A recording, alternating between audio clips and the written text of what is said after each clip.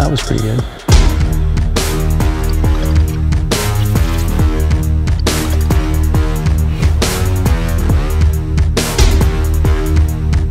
Hey everybody, it's Eric Johnson from Arete Throws Nation. In today's video, we're gonna talk about setting up your throwing chain reaction. Now, one of the things we're going to talk about in pillar one, one of the core things and one of the core objectives you're trying to do is actually establish the orbit pattern of the discus. So where you move that discus is super key. So what we're going to do is encourage our coaches and throwers that this is a super important thing and it's something we talk about in depth inside throwing chain reaction system. So click the link below. Okay, so one of the things we're going to do is we're going to be watching the path of the discus.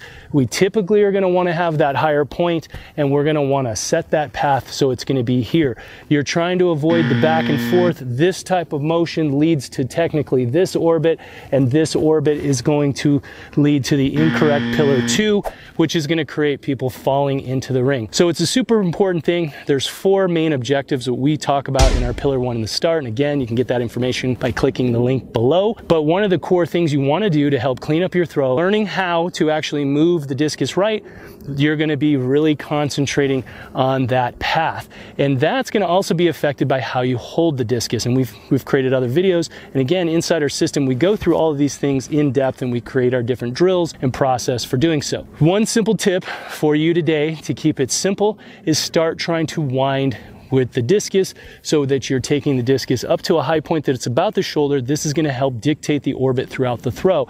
If we're doing things like we've talked about in other videos, like the figure eight wind, you're going to wind up setting an orbit. And technically, you can see when you're doing this, this is the actual orbit. But what you're going to do, you'll tilt your shoulders, but you'll adjust with your arms so it won't be as obvious, but that is actually what's happening. So one of the simple things that we wanted to help a lot of our young throwers with today, and coaches as you look, is to be able to make sure that your athlete is carrying that discus properly and placing it in the right orbit so that you can set up your throw, again, set up your, th your chain reaction for better, more balanced throws. So hopefully that was helpful. Be sure to comment. If you'd like information on throwing chain reaction system, click the link below and we'll see you on the next video that's why when you turn the thumb up, the discus isn't coming off the edge of that finger real well, and that's gonna make a big difference. So how you hold it is super important.